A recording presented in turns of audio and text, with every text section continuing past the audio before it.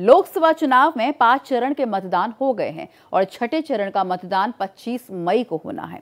देश के जाने माने युवा सामाजिक कार्यकर्ता और युवा चेतना मंच के अध्यक्ष रोहित सिंह देश भर में यात्रा कर युवाओं के रुझान को समझने की कोशिश कर रहे हैं।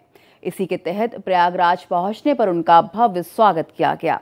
युवा चेतना मंच के अध्यक्ष रोहित सिंह से वर्तमान राजनीतिक स्थितियों पर संवाददाता अभिषेक पांडे ने खास बातचीत की। देश के युवा नेता और युवा चेतना के राष्ट्रीय अध्यक्ष रोहित सिंह जी हमारे साथ बातचीत करने के लिए मौजूद हैं। रोहित जी, आप देश भर में चुनाव के दौरान लगातार भ्रमण कर रहे हैं। उत्तर प्रदेश और तमाम जगहों पर आप लगातार विज़िट कर रहे हैं। किस तरह की स्थितियाँ आप देख रहे हैं चुनाव में? और जनता का क्या रुझान आपको नज़र आ रहा है? जनता दुखी है, पीड़ित है, प्रताड़ित महसूस कर रही है, दुख में है, ठगा हुआ महसूस कर रही है। किससे? विपक्ष में बैठे भ्रष्टाचारियों से, भस्मासुरों से, जिन्होंने सत्ता में रहते हुए देश की संपत्ति का बंदरबात किया, देश के वैभव को कम करने का षडयंत्र रचा और आज सीना चौड़ा करके देश के भूमिपुत्र धरती पुत्र भारत माता के वीर सपूत, आदरणीय नरेंद्र भाई मोदी के सामने बड़ी बड़ी बात कर रहे हैं। देश की जनता पूरी प्रतिबद्धता के साथ, माननीय मोदी जी के साथ खड़ी है। क्योंकि मोदी जी ने भगत सिंह जी का, चंद्रशेखर आज़ाद का, गांधी का, नेताजी सुभाष चंद्र बोस के सपनों का भारत बनाने का प्रयास किया है।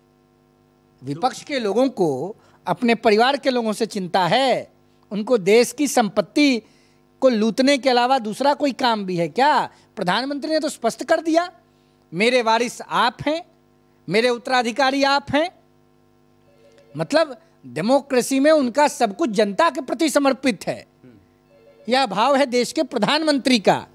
और विपक्ष के नेताओं का नाम उठा के देख लीजिए। मैं, मेरी पत्नी, मेरा बेटा ये सब नहीं तो साला साली सरहज बिल्कुल प्रधानमंत्री प्रधानमंत्री नरेंद्र मोदी भी अपने भाषणों में परिवारवाद पर निशाना साधते रहे और कहें कि कुछ लोगों की पार्टी है। जब जबकि बीजेपी की बात की जाए तो उसमें किसी भी युवा कार्यकर्ता को हम देखते हैं कि अहम पद भी दे दिया जाता है। अभी हमने मध्य प्रदेश छत्तीसगढ़ में भी देखा था कि मुख्यमंत्री जो बनाए गए हैं वो बहुत चर्चित और फ़ेमस नहीं है। किसी भी कार्यकर्ता को मौका दिया जाता है। क्या लगता है इस मामले में कांग्रेस या अन्य पार्टियाँ पीछे रह जाती हैं? देखिए, मैं किसी राजनीतिक दल से संबंध नहीं रखता हूँ तो किसी राजनीतिक दल की रूपरेखा पर कोई बयान देने का अधिकार मुझे नहीं है। लेकिन यह मैं ज़रूर बोल सकता हूँ, पूरी जवाबदेही और जिम्मेवारी के साथ बोल सकता हूँ।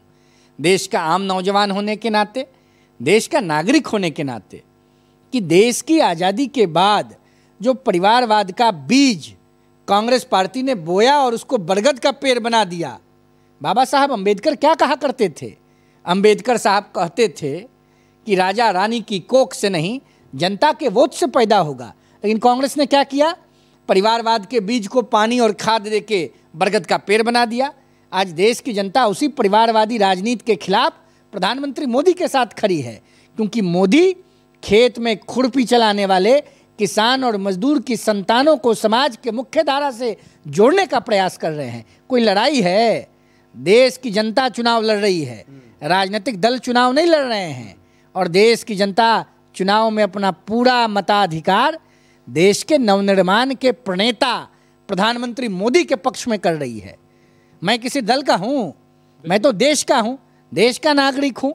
देश का नौजवान हूँ। लेकिन रोहित जी, आप समाज से जुड़े रहे हैं और काफ़ी काम आपने किया है। समाज के हर वर्ग आपको जानता है, पहचानता है। इस तरह की स्थितियों में जब आप पूरब की तरफ़ गए, पश्चिम, उत्तर, दक्षिण, कहा जाता है दक्षिण में भारतीय जनता पार्टी का उतना होल्ड नहीं रहता। लेकिन जनता का आपका क्या, किस तरह की बातें निकल के आ रही हैं? क्या कोई नाराज़गी है? एंटी इनकम्बेंसी आपने देखी या फिर जो महागठबंधन है? निश्चित रूप से आप राजनीतिक, जो चर्चा है, उस पर हम नहीं पूछ रहे हैं। लेकिन आप किसी पार्टी से भी संबंधित नहीं, लेकिन आप आपका क्या मत आपको समझ में आ रहा है क्या रुझान मिल रहा है? देखिए देश की जनता मन बना चुकी है। और देश की जनता का स्टैंड बहुत क्लियर है।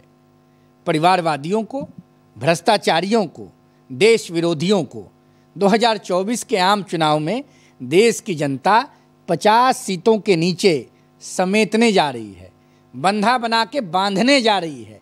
कहीं कोई लड़ाई नहीं है। चुनाव जनता लड़ रही है पब्लिक लड़ रही है। और पब्लिक ये जानती है कि प्रगति मोदी की सरकार में ही होगा।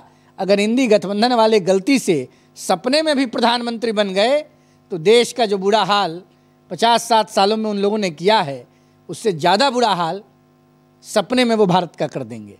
तो आपने सुना युवा चेतना के राष्ट्रीय अध्यक्ष रोहित सिंह का साफ़ तौर पर कहना है कि महागठबंधन भले ही लाख दावे करे, लेकिन 50 से कम सीटों में सिमट जाएगी और इस बार का चुनाव जनता सीधे लड़ रही है। और सभी का ये कहना है कि मोदी जी हैं, जो कि तीसरी बार भी बन करके आ सकते हैं। हालाँकि महागठबंधन अलग अलग जगहों पर जाकर के रैली कर रही, उनकी जनसभा में भी भीड़ देखने को मिल रही, लेकिन अब देखना ये होगा कि आखिर चार जून को क्या तीसरी बार, यानी कि मोदी सरकार हैट्रिक लगा पाएगी या नहीं? वीडियो जर्नलिस्ट संजीव कुमार मिश्रा के साथ अभिषेक पांडे, भारत एक्सप्रेस, प्रयागराज।